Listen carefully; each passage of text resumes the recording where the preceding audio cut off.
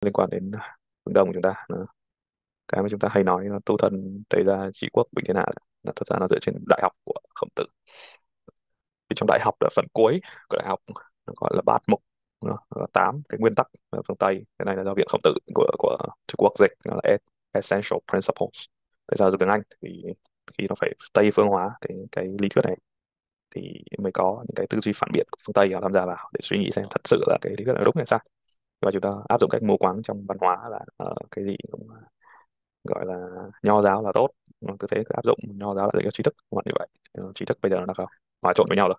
Nên chúng ta cố gắng sử dụng nó nhiều hơn uh, thể hiện cái giới hạn của mình. Uh, hy vọng sau này có thể có một kiến thức nhất định về uh, hán tự cổ để có thể đọc được và hiểu được cái, cái từ ngữ trong trong cái lý thuyết này nó, nó, nó bao hàm nghĩa thế nào rồi quay lại câu chuyện này, chúng ta nói về cái gọi là thu thần tề gia trị quốc bình thiên hạ. Thì đương nhiên là cái gọi là tề gia trị quốc bình thiên hạ nó sẽ liên quan đến lãnh đạo học tự cho gia đình yên ấm rồi bắt đầu mới quản được nước và chinh phục giữ cho thiên hạ thái bình như vậy.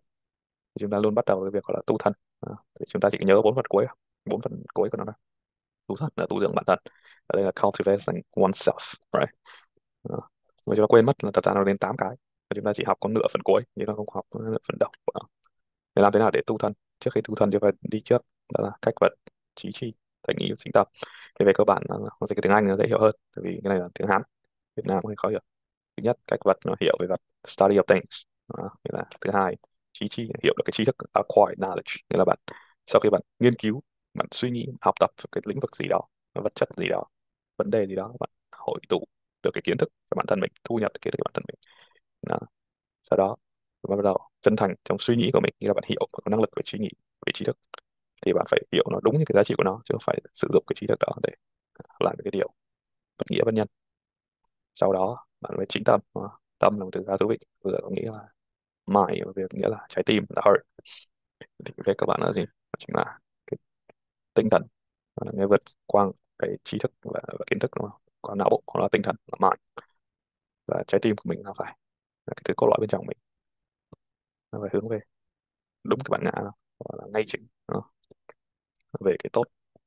Sau đó thì bạn mới gọi là tu thân để sau đó mới đến thời gian trị quốc của mình thế nó thì lãnh đạo học ở phương Đông thì thiên về cái à, đi sâu trong cái bát bát mục của của đại học nhiều hơn lại các lĩnh vực khác. À, cùng thời với khổng tử thì có lão tử à, đạo đức kinh. Nhưng lão tử thì thiên về triết học nhiều hơn và tư duy của lão tử thì vượt xa cái gọi là lãnh đạo học và sẽ thiên về hòa hợp với thiên nhiên hơn là, là, là lãnh đạo học mang tính con người chúng ta nhìn thấy trong nhỏ giáo.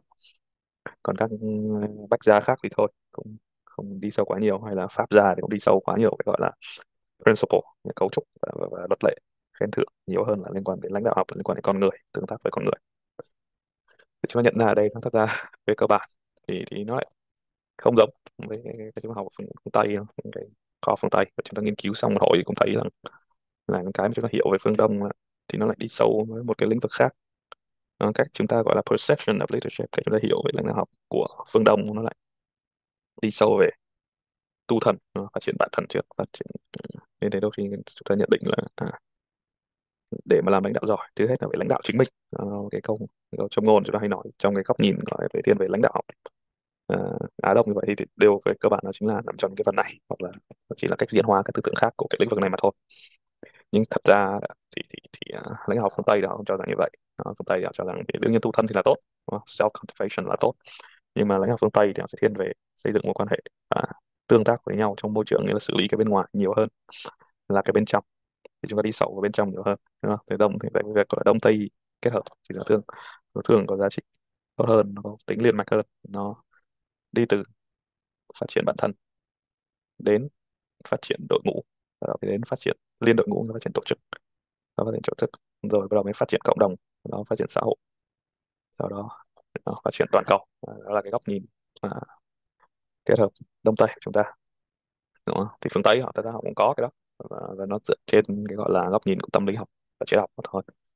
Thì thì cái bốn cái phần trước của bát mục là phương tây họ sẽ gọi nó là individualization development.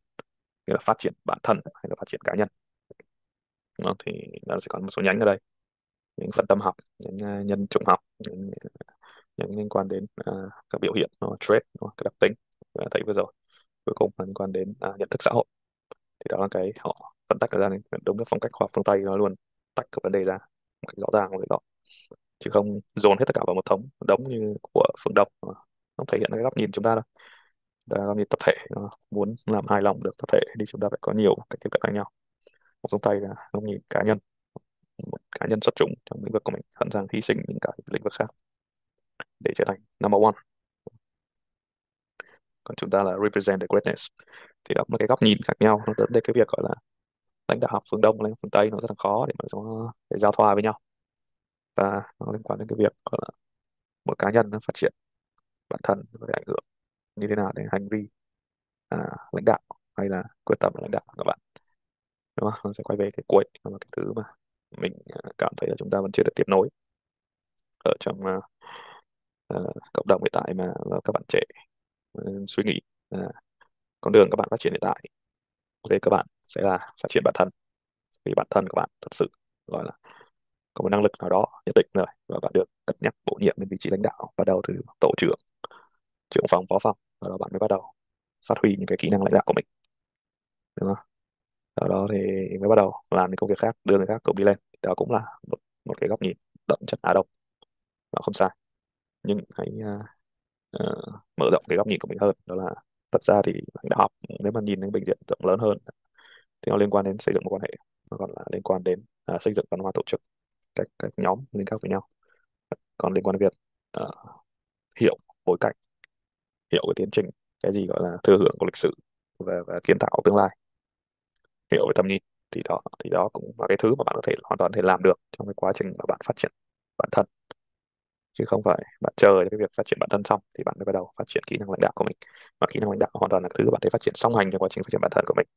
Bạn chờ quá lâu thì với các bạn bạn sẽ mất cái năng lực đó và à, thế giới thì bị hủy hoại bởi hành động của kẻ xấu mà gọi là sự im lặng người tốt đúng không?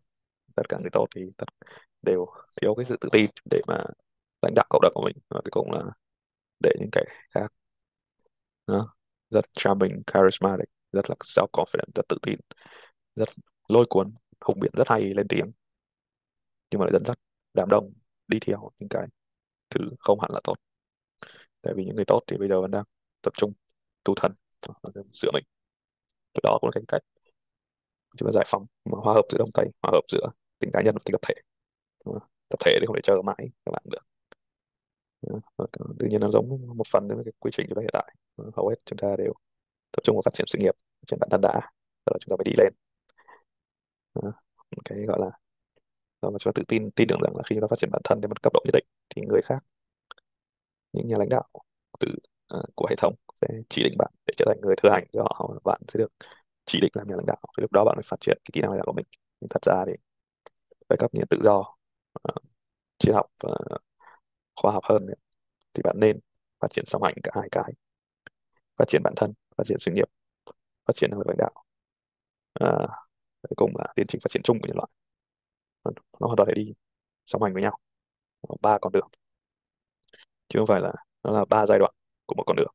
Đó, thì đó là cái góc nhìn của, của, của, mình trong cái lĩnh vực này. Và nó cũng thật sự nó có một mấy cách để trả lời cho những cái câu chuyện à, những cái câu hỏi kinh điển về về, về phát triển bản thân à, là câu hỏi kinh điển về uh, việc là ai xứng đáng làm cái gì và ai không xứng đáng làm cái gì. Đó là tất cả chúng ta đều sẽ thể trở thành nhà lãnh đạo.